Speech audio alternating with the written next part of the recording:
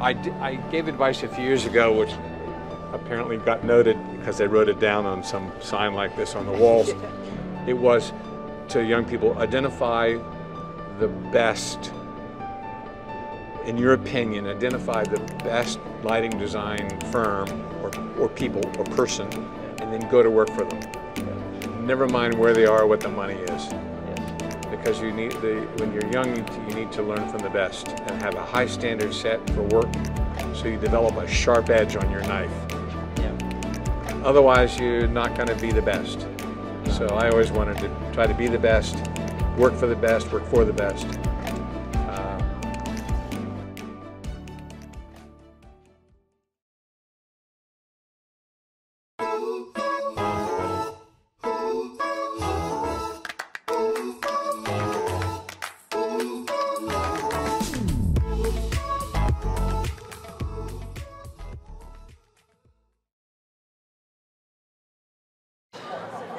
greetings Greetings, how are you?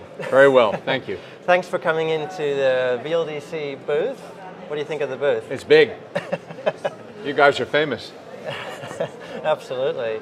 Now, you guys, um, no, you guys, you got in, uh, you were just saying on, on Saturday morning, took Sunday easy, and on Monday morning you were here for the judging all day long all day long. Tell us a bit about that whole process um, from your experience. How does that Well, match up with what you've I've done? been uh, in my life. I've been on about uh, six, maybe seven jury panels, and it's always a work in progress. Yeah. This time we had uh, on your own judging uh, online uh, in December, yeah, and then they came to a finalist list, and so we looked at the finalists all day yesterday, and and in what I thought was a, a brilliant addition and can really only be done in a in a regional setting like this.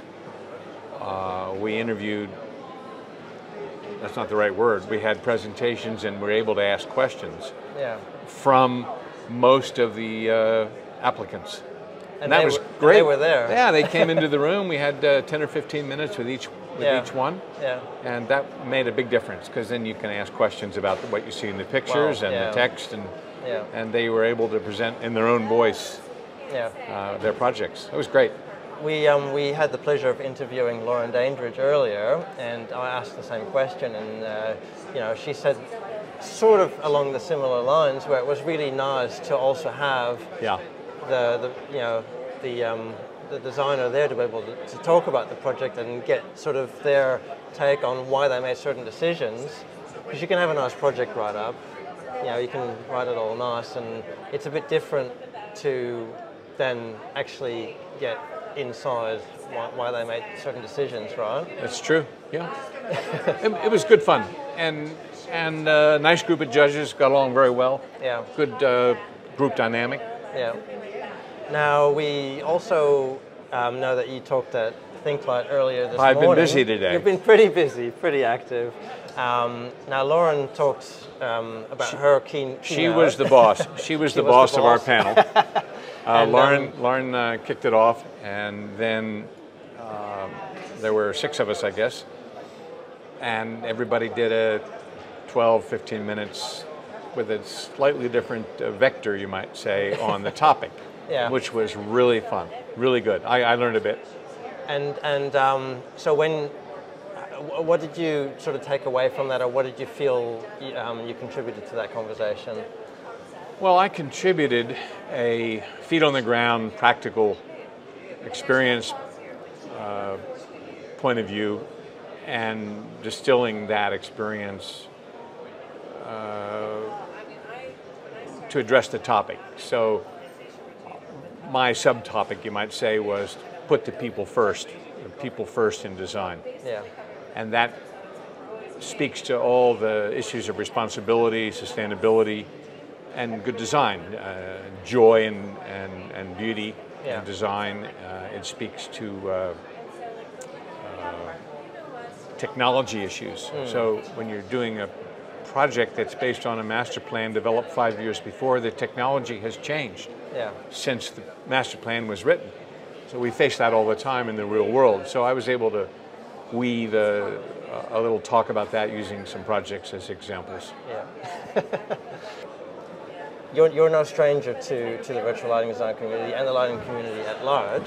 Um, and you um, contributed not long ago actually with a talk on the night sky, um, which I thought was a brilliant Right. talk. Well, I don't know about brilliant, but actually last year I did a longer version of that. Oh, And that's when uh, uh, Martin came to me and he said, Would you do a, a shorter version? Yeah, And one thing we learned in pandemic was that the 20 minute format is really good. yeah, It's a really good teaching format, and also everybody will sit for a 20 minute talk if it's engaging. yeah. The problem with 50 minute talks is it reminds us of school, and we didn't all like school.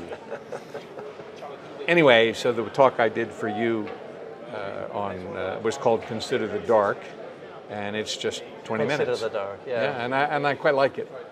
What I um, really enjoyed when I just ducked in earlier to listen to you being interviewed by our fellow VLDC founder Martin Lupton was um, one of the things he asked you was I think something along the lines of what you feared or, or something like that, and you said that you m- more to the point that you wanted to surround yourself with people who are smarter than, than you. That's the plan. That's the plan.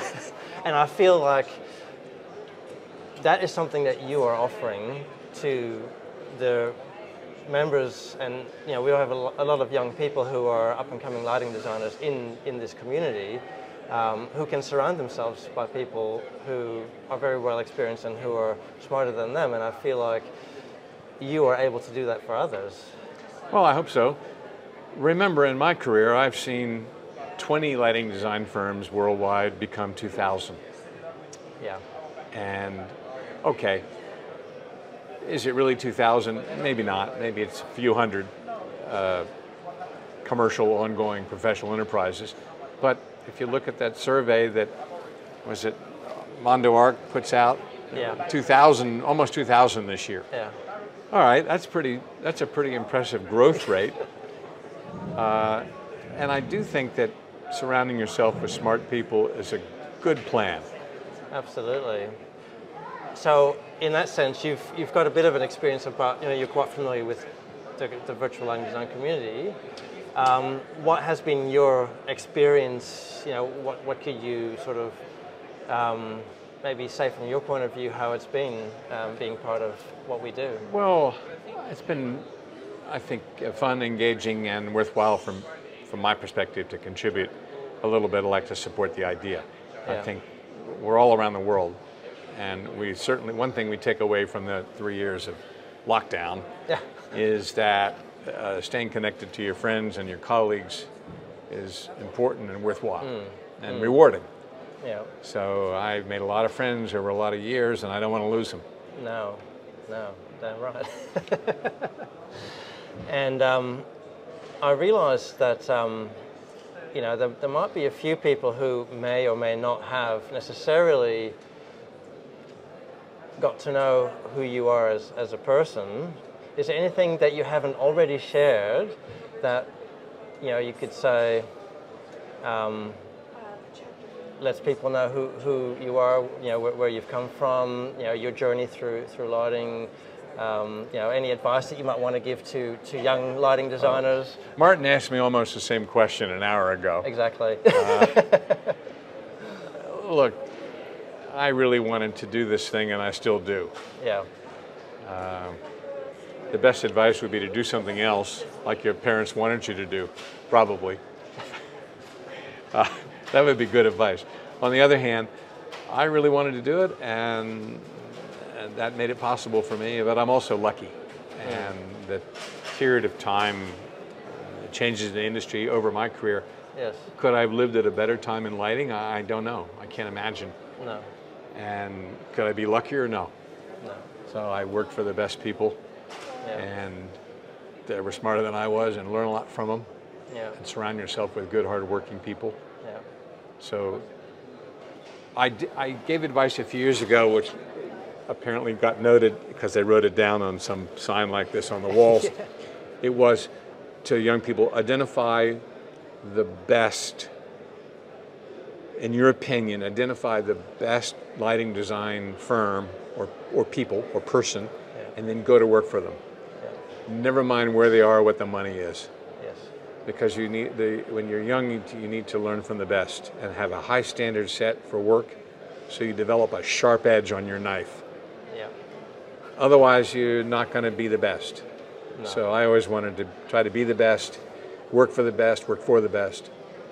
Uh, I don't know. That's just general life advice, I guess. Well, there's a bit of an overlap, I suppose, with Yeah. with life at Voss.